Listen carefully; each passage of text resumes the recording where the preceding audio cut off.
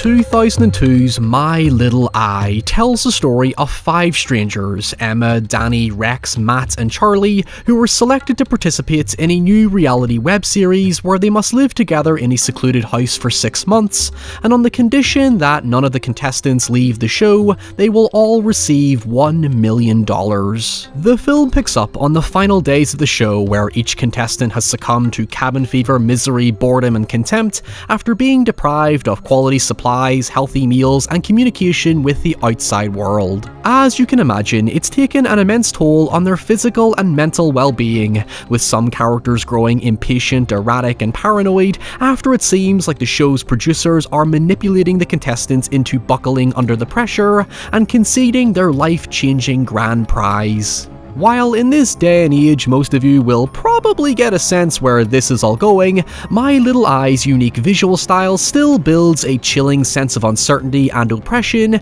as you wait for the true horror to inevitably reveal itself. Now, some of you are probably asking, Ryan, why does this film have the quality of a potato? Well, besides the fact it's just really hard to find a copy of this film unless, like me, you own the original DVD or watch it on a few select European countries on Netflix, it's a deliberate deliberate stylistic choice to frame the film entirely through the lens of hidden DV cameras and CCTV that place us purely in the perspective of the viewers watching from home. Taking many notes from the Blair Witch Project, director Marc Evans aimed for absolute authenticity by disregarding most conventional filmmaking logic and encouraging his cast of then and mostly still unknown actors to react instinctually to the script instead of meticulously blocking out each scene, with any dialogue or action that felt too scripted or cliched being removed completely in favour of a naturalistic and sometimes sporadic delivery. I'm not going to say it isn't guilty of still falling into cliche to pad out its relatively short runtime, but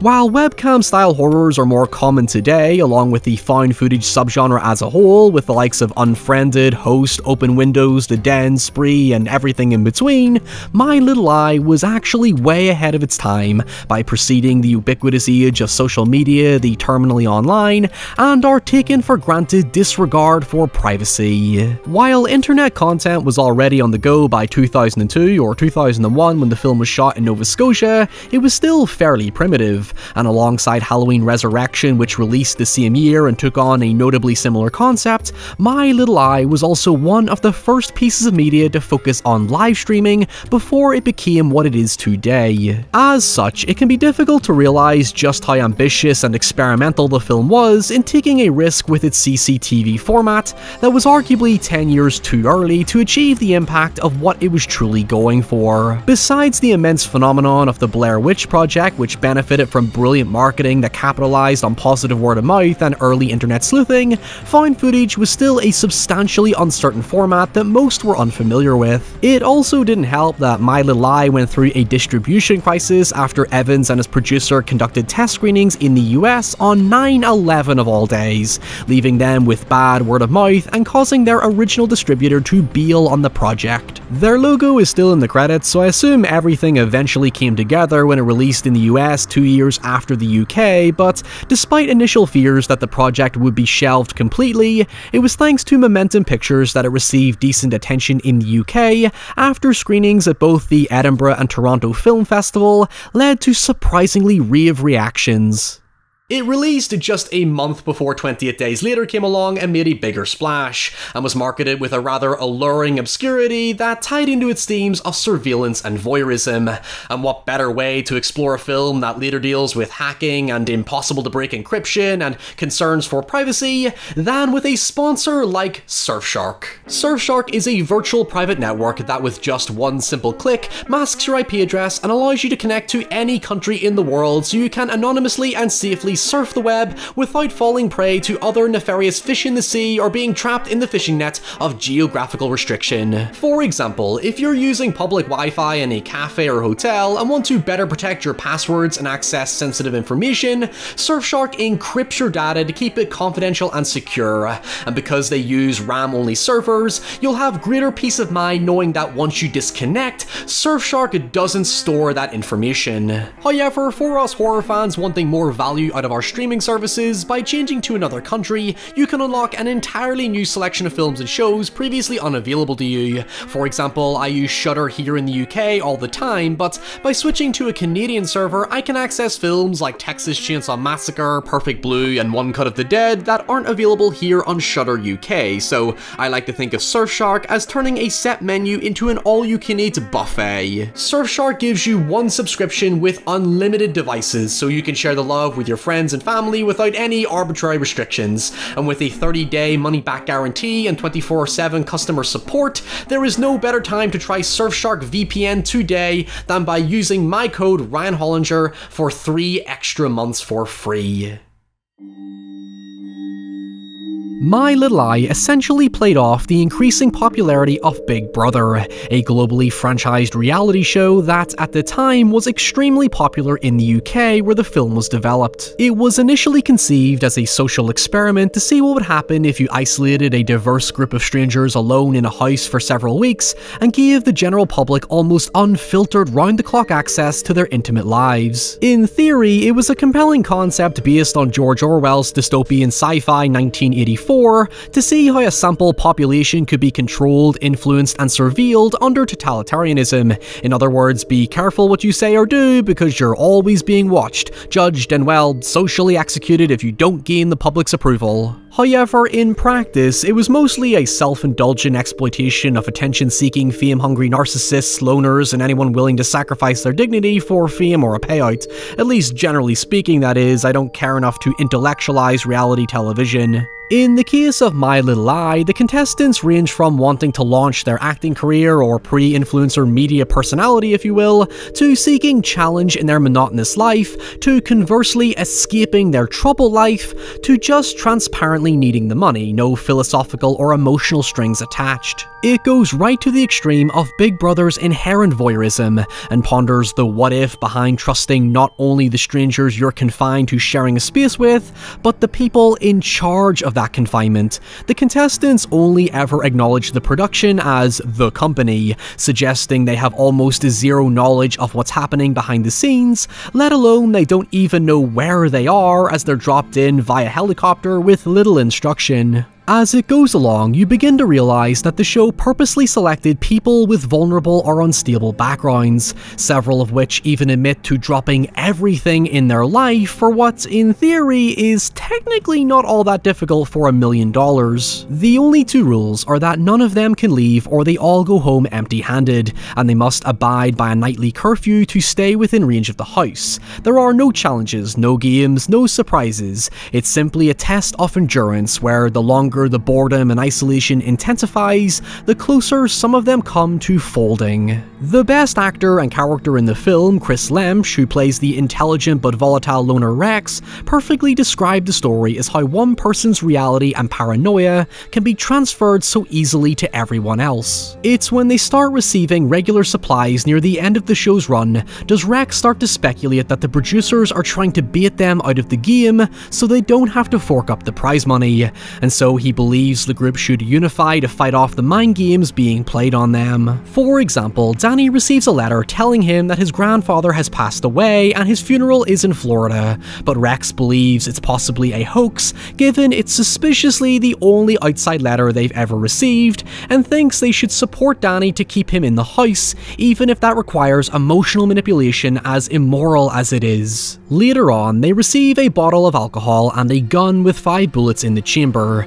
which could be interpreted as a sick joke that one of them could go mad and murder the others, and still technically claim the prize since nobody leaves the house, or they could simply use the last bullet on themselves. Oh, However, Rex thinks it's a symbolic gesture targeted towards him, because he revealed his abusive alcoholic father shot himself, thus dismisses it as a provocative psychological tactic whereby the producers use the sensitive information they learn off the contestants to challenge and test their composure and tenacity. In fact, Mr. I'm in it for the challenge Matt tells Rex he's chosen to play his cards close to his chest so the producers can't get inside his head, to which Rex playfully playfully questions if it's because he has bigger skeletons in his closet that he doesn't want revealed. It isn't written with any complexity to make you think each of them have a reason to turn on each other, but it does keep going back to the notion of how much we can trust people we only know at face value. It's certainly emphasized by the fact that we as the audience are dropped into the film with little context or understanding of the characters up to the point we meet them. Seeing more interaction between them certainly would have helped build better characterization,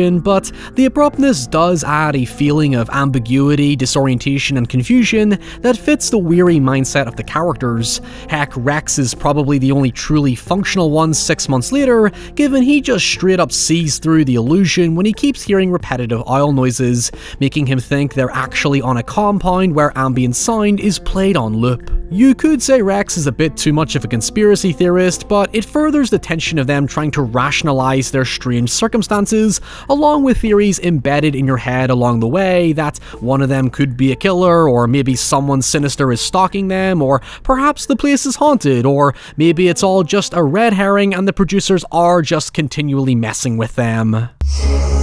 One of the more striking developments comes from when Emma finds a threatening message on her bathroom window that happens to be the same phrase used by a boy called John Riley, who went to the same school as her and later killed his parents. Emma explains that she and Riley used to play a childhood game called Scaredy Cat, where each of them would try to scare each other, and one time Emma seemed to take it too far by pretending to kill his kitten, prompting him to vow vengeance, uttering the phrase Emma finds on the window. Now, firstly, I assume the film was originally called Scaredy Cats because it's odd that they use a different kid's name for the title. My Little Eye makes sense in the context of Big Brother, but this specific scenario leans more heavily on trying to scare the contestants out of the house, which Emma thinks Riley might be involved in, as elaborate as it all sounds. But anyway, the real matter of importance is when Emma later awakens with a bloodied hammer on her bed, which Rex takes the blame for just so that she doesn't leave, suggesting now is the time that the group should definitely heed this as a warning that something seriously messed up is happening and they should probably leave. Yet, before they can do so, a stranger arrives out of the blue having gotten lost in the forest after after his GPS battery died, and. Uh, wait, is that Bradley Cooper? Yeah, this was one of Cooper's earliest roles. Obviously, he was yet to become a big movie star, but he was established on shows like Alias that, even at the time, you probably at least had the notion that he was up to something, so spoilers, obviously. His character Travis is a programmer who reveals to have no awareness of the reality show, and after partying with the group that night while his GPS charges, he ends up having intercourse with Charlie while making constant eye contact with the hidden cameras, eventually talking to one, revealing that he made a vile bet to have sex with her. When Rex confronts him the following morning, rightfully accusing him of being a producer, they later find his bloodied bag near the forest, assuming he was attacked by someone or something. As more questions continue to arise, Danny is accused of stealing Emma's underwear, which Travis had planted the night before, and with the accusations of perversion, cabin fever, and his grandfather's alleged death, the group find Danny hanged the next morning. With panic and distress at an all-time peak, the group try to contact the producers, but to no avail, to which the reality finally reveals itself when Rex hacks Travis's GPS and uses his credit card to access the website the series is hosted on, and surprise, surprise, it's not only heavily encrypted and hidden from the public, but a subscription costs over $50,000. If you haven't worked it out by this point, don't worry, Rex basically spells it out to us. This might be a snuff film, where viewers bet on who dies, and knowing it's hopeless to venture out into the freezing snow in darkness, they board up the house, take the gun, and prepare for the worst. Now, naturally, this raises more questions than answers, mainly logical holes where you have to suspend your disbelief to accept any answer, such as the assumption that surely at least one of them told their friends or family they were participating in a game show. For this, you could argue it's because it's established they are desperate trouble people, possibly under NDA, after an intense vetting process given how much the perpetrators supposedly know about them. Much of it involves coming to your own conclusions based on loose implications and and threads of information littered all the way through. Like, why would they wait six months to murder them? Well, I can't speak for the mind of any psychopath, but I'm just going to go with it being like aging your whiskey in a casket before it's ready to drink. Personally, I didn't mind the reveal because my expectations weren't exceedingly high. I kinda assumed early on it would be a dodgy murder scenario, in fact, it would be more ballsy if the movie was actually just this immoral social experiment. However, there is another twist where it's revealed that Matt's constant desire for challenge led to him being hired to murder the others, starting with Charlie and then Rex, leaving Emma to try and escape only for a fake cop to arrive and incapacitate her. This all happens in very quick but utterly brutal succession, with Matt being shot dead by the impersonating cops soon after to preserve the secrecy between him, his clients, and Cooper's character, who we can assume runs the website given he's a programmer, ending on a super bleak, abrupt note as Emma screams in agony and bleeds out in a fridge alone. It's presented with a gritty, nauseating realism that mixes with the grainy aesthetic of the cameras to make it feel like something we should not be watching. But if you've ever indulged in extreme horror cinema before, this might still feel like a basic slasher flick. The funny thing is, I thought about reviewing My Little Eye for a very long time, but it was when I did the rental that I decided to fully commit to it, and going off the comments of that video, it's naturally going to polarize people in the same way, because yes, on the one hand it's underwhelming, but for me, I kinda like how it validated my suspicions. What I will say in its defense is that, for its time, conventional horror films didn't typically end this bleak. It demystifies the final girl trope by straight up literally shooting it down before it even begins, and the whole John Riley fear ends up being a complete red herring. It's unpleasantly and grotesquely unsatisfying, but I think that's the terrifying point of it. It's cruel by the very nature of its villains. That's what I mean mean when I said director Marc Evans rejected conventional filmmaking logic. In practice, there isn't really a traditional climax. It all just fizzles out once they find out the truth. The game is up, so they have to finish things off swiftly. No names, no exposition for what's happening, because they don't need to explain themselves to their victims. It's just a seemingly anticlimactic finish for their depraved viewers and for themselves, as much as it is for us. I feel like I got more out of this than I set out to show, but hey, you know me, I love my found footage films, especially the obscure ones that not many people know nor remember, so if you have one that's worth checking out, uh, please recommend it to me in the comments below, and until next time, stay safe, stay away from dodgy looking CCTV, and I'll see you all very soon. Bye.